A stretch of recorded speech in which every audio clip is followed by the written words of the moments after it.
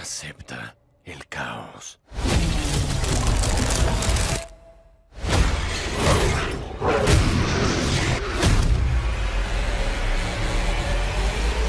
Y sean todos bienvenidos a Manualidades Geek, en donde tú y yo hacemos manualidades. Hola a todos, aquí nuevamente Sebastián, quien en esta ocasión les trae una nueva manualidad sobre un nuevo superhéroe que se integra al UCM. Y el nombre de este nuevo superhéroe es Moon Knight. Y por él es que realizaré una de sus armas, esta hermosa daga, que también es conocida como Crescent Dart. Y como pueden observar, cuidé cada grabado que tiene esta daga, todos estos jeroglíficos, para que así ustedes tengan una daga lo más parecido a la original. Ya que como ustedes saben, yo quiero lo mejor para ustedes. Y ahora antes de enseñarles cómo hacerla, les dejaré dos preguntas. La primera, ¿quisieran que en algún próximo video hiciera los bastones de Mr. Knight? ¿Qué es esto? ¿Para qué son las varillas? Creo que se ven cool. Y segunda pregunta, ahora que se estrenó la segunda película de Doctor Strange,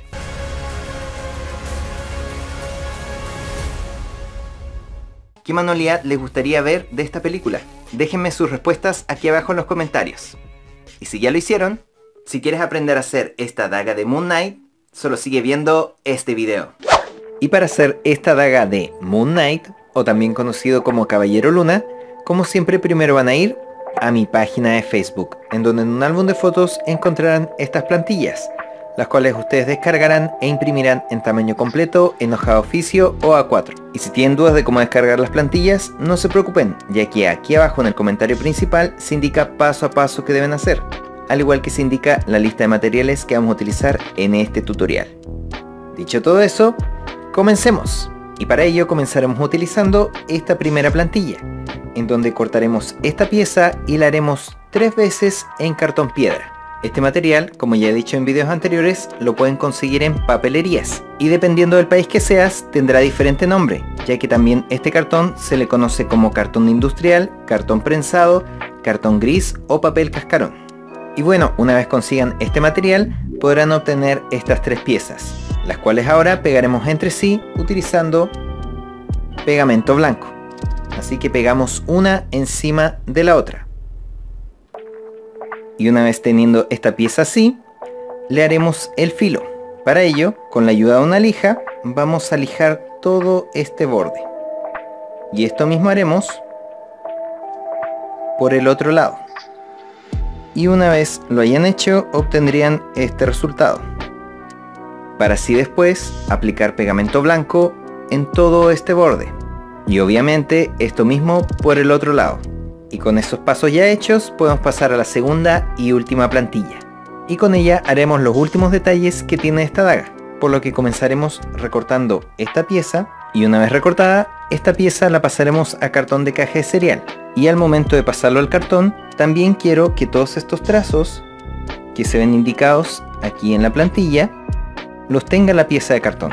Para ello utilizaré el método de calcado que siempre utilizo cuando quiero pasar una plantilla a cartón.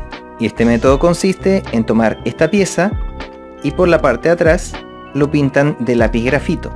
Para luego tomar la plantilla, colocarla encima del cartón y afirmarla con cinta de papel para que no se mueva. Para que así puedan dibujar el contorno de la pieza con lápiz grafito y marcar todos los trazos que indica la plantilla. Todos los trazos. Para que así al momento de despegar la plantilla levemente estén todos los trazos traspasados en el cartón. Y ahora solo basta remarcar todo nuevamente con lápiz grafito, obteniendo así un resultado como este. Y ahora podemos cortar esta pieza, obteniendo así esta pieza de cartón con los mismos trazos que indica la plantilla. Y ahora este paso lo volvemos a hacer. Y una vez tengan estas dos piezas de cartón, a una de ellas le recortaremos todos estos pequeños detalles y los pegaremos a esta con pegamento blanco y a su vez le recortamos esta pieza. Y una vez lo hayan hecho con bastante paciencia podrán tener este resultado. Y ahora a esta pieza le pegaremos esta que les había mencionado antes, con pegamento blanco. Así. Y ya teniendo esta pieza con todos los detalles, todos los pasos que acabo de indicar para hacer esta pieza, lo vuelven a hacer, para así tener estas dos. Y las cuales ahora pegaremos a esta pieza, una en cada lado. Una va aquí y la otra aquí. Y ahora que ya pegamos ambas piezas, pintemos nuestra daga. Para ello yo voy a utilizar pintura acrílica. Y como pueden observar, solo vamos a requerir de dos colores, un tono café y dorado. Y la manera en que yo les recomiendo pintar esta daga es la siguiente. Primero pintan estos tres sectores de color café, incluyendo todas estas pequeñas piezas, para así luego pintar estos sectores completamente dorado. Y por último, tomamos un pincel pequeño como este y pintamos con más dorado todos estos grabados. Y ya realizado todos los pasos anteriores, ya estamos preparados en caso de que Conchu nos escoja para ser su próximo avatar. ¿Juras proteger a los viajeros de la noche e impartir mi venganza a quienes busquen hacerles daño? Sí.